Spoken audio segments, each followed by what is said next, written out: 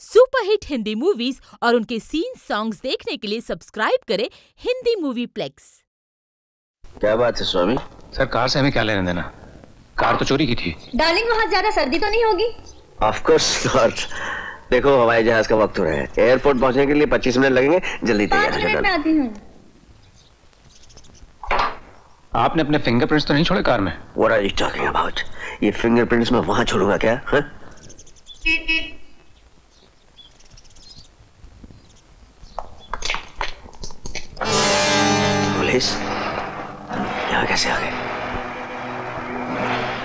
नीचे जाकर देखता हूँ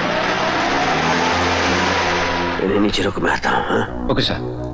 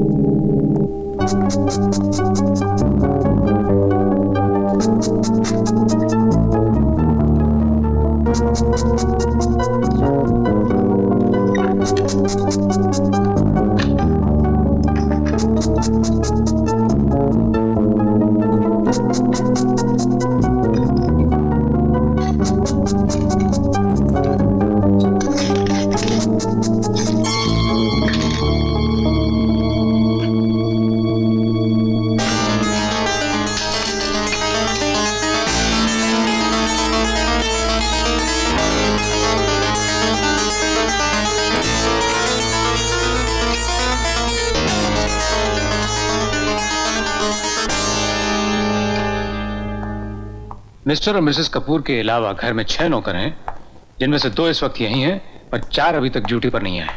क्या बात है स्वामी? सर ये है CID inspector Khan. Hello are you ये घर की तलाशी लेने आए हैं।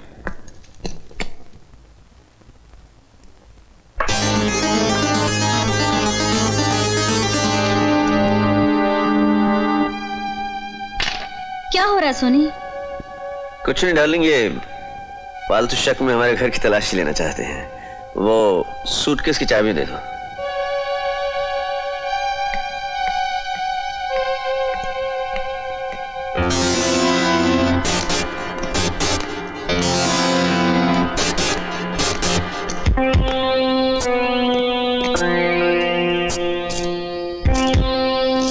सूटकेस खोलो। एक्सक्यूज मैडम ये छतरी पर्स। जी। शौक से शौक से देखिए।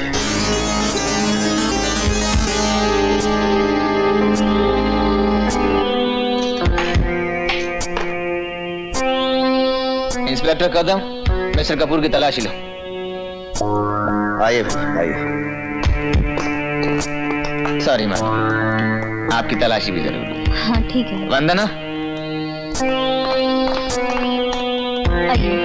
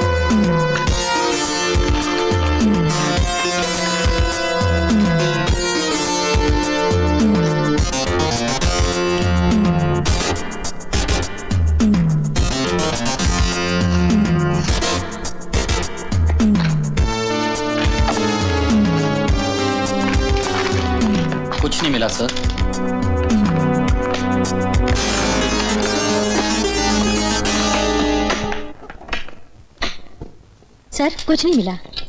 मुझे मालूम था। खाम खाम मेरा वक्त जाया किया अब मालूम नहीं प्लेन मिलेगा भी ये नहीं। सॉरी अब इजाज़त है? प्लीज़ सुनो स्वामी ये चाबी लो। कबर वगैरह सब अच्छी तरह दिखा देना।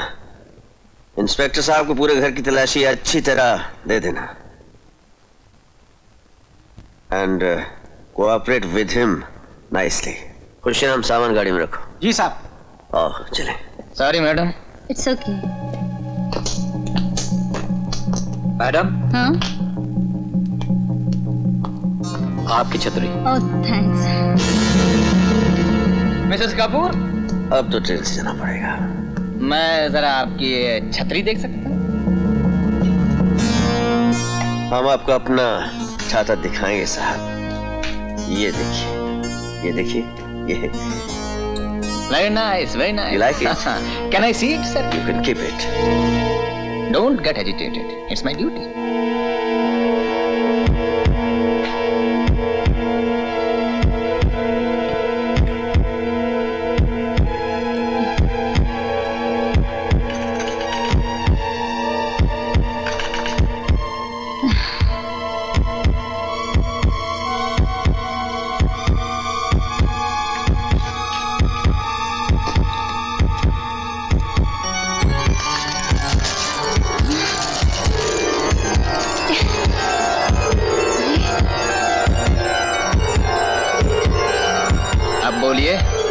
ये छतरी में से इतने हीरे कैसे निकले?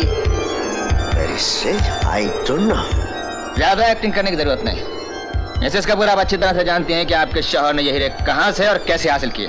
बस माइंड योर लैंग्वेज डार्लिंग ये इल्ज़ाम सरासर झूठ है। किसी ने मेरे खिलाफ साजिश की है किसी ने मेरे साथ दुश्मनी की है। तुम क्यों परेशान हो जाए डार्लिंग देखा नहीं कैसे एक ही मिनट में जमाना मंजूर हो गया? ये केस ही झूठा है। देखना पहले ही हियरिंग में खत्म हो जाएगा। हाँ। एक्सक्यूज मी सर तुम बैठो darling I've got some good news for you, sir हमने केस शुरू होने से पहले ही केस जीत लिया है। कैसे? खबर मिली है कि पुलिस के पास सिर्फ़ एक ही आँखों देखा गवाह है। कौन है वो? कोई एक्सेल गारमेंट फैक्ट्री का मालिक है राम कुमार वर्मा।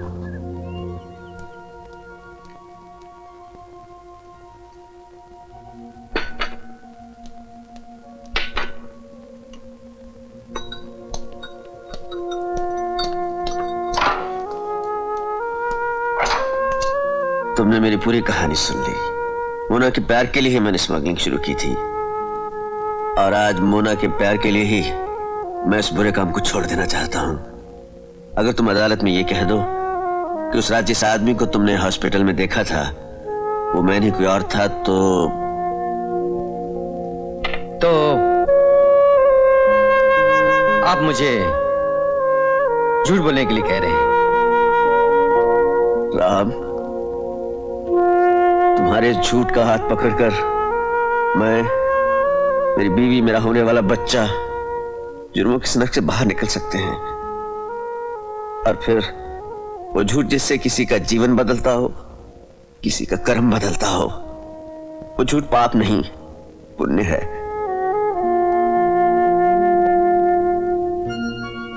मुझे सोचने के लिए कुछ वक्त चाहिए। ज़रूर। क्यों नहीं? मुझे यकीन है तुम्हारा फैसला मेरे हक में ही होगा।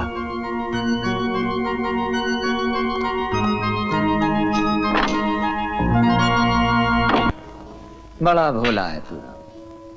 अरे, ये सब ड्रामेबाजी। हम पुलिस वालों का ऐसे मुजरिमों से हर रोज वास्ता पड़ता है। अगर उसे अपने किए पर पछतावा है तो वो सजा क्यों नहीं काट लेता? देख आज तक जो सोनी ने जुर्म किए हैं उन सब की सजा उसे नहीं मिल रही है। सिर्फ़ एक जुर्म की सजा मिल रही है। सजा काट ले और उसके बाद लाइन छोड़ दे। सजा काटने से इनकार नहीं है उससे। उसे डर है कि अगर उसका जुर्म साबित हो गया तो वो अपनी वाइफ की नज़रों से हमेशा के लिए गिर जाएगा। वाइफ जिसकी छतरी में से वो हीरे मिले थे? अंकल मुझे सौ फ़ीसदी यकीन है। सोनी और उसकी बीवी दोनों मिलकर स्मगलिंग करते इस शराफत का तो ये ढोंग है यार। चोचलेबाजी है समाज और कानून की आँखों में धूल झोंकने के लिए। समझ में नहीं आता। जिस तरह से वो बात कर रहा था ऐसे लग रहा था कि वो दिल से बात कर रहा है सच बात कर रहा है। बेटे जो तुम्हें झूठ बोलने के लिए कह रहा है वो आप कितना सच्चा होगा वो तुम खुद सोच सकते हो। और फिर राम तुझे कौन सा उसने स्टैम्प पेपर पर साइन करके गारंटी दे दी है कि वो स्मगलिंग नहीं करेगा या कानून नहीं तोड़ेगा?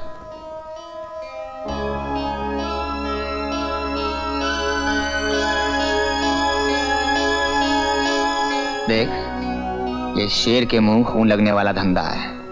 बड़ी से बड़ी सजा काटने के बाद भी ये बदमाश सुधरने का नाम नहीं लेते। अरे तू क्यों झंझट में पड़ता है बेटे? सच क्या है झूठ क्या है ये पता लगाना कानून का काम है। तूने जो देखा है ना वो सच सच बता दे।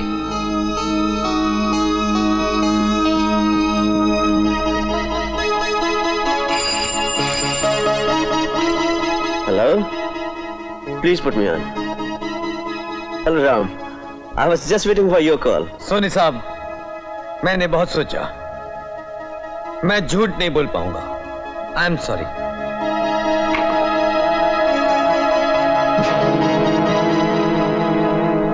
मैं तो कहता हूँ उसे खत्म कर देना चाहिए। मेरी भी यही राय है। कॉस्मोस के खिलाफ गवाही देने वाले को इस धरती पर सांस लेने का कोई हक नहीं। नहीं हमें उसे मारना नहीं चाहिए। क्यों नहीं मारना चाहिए? इसलिए कि अगर वो मर गया या उसे मार दिया गया तो जो बयान उसने पुलिस में दिए हैं अदालत उन्हें सच मान लेगी। आप सब जानते हैं कि वो बयान सोनी के खिलाफ हैं। हमें उसे ज़िंदा रखना होगा। और कोई ऐसा रास्ता ढूंढना होगा कि वो अपना बयान अदालत में बदल दे।